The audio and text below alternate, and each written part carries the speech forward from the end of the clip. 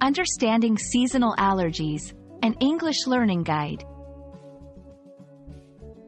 Hello everyone. Today, we're going to explore a very common health topic, seasonal allergies.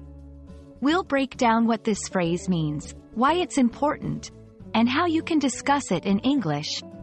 Whether you're dealing with these allergies yourself or just want to understand more about them, this video is for you.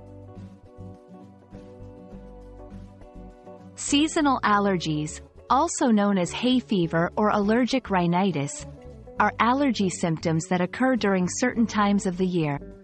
They are usually caused by an allergic reaction to outdoor substances like pollen from trees, grasses, and weeds.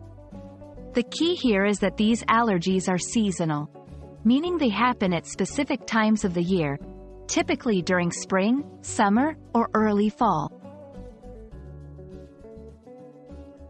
Understanding the symptoms is crucial. Common signs include sneezing, runny or stuffy nose, itchy eyes, nose, or throat, and watery eyes.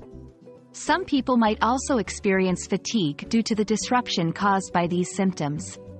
Knowing these terms can help you describe your condition in English or understand others discussing their symptoms.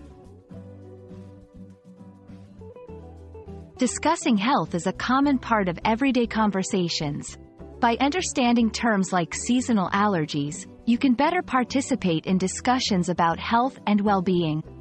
It's also helpful for understanding advice on how to reduce exposure to allergens or for explaining why you might be feeling unwell during certain times of the year.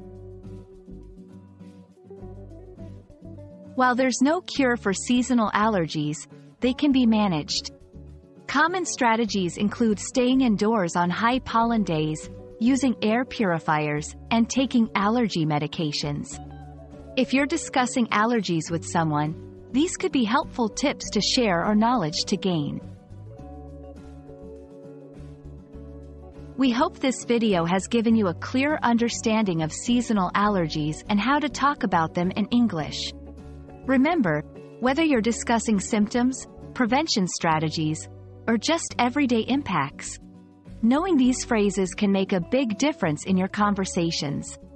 Stay healthy and see you in the next video.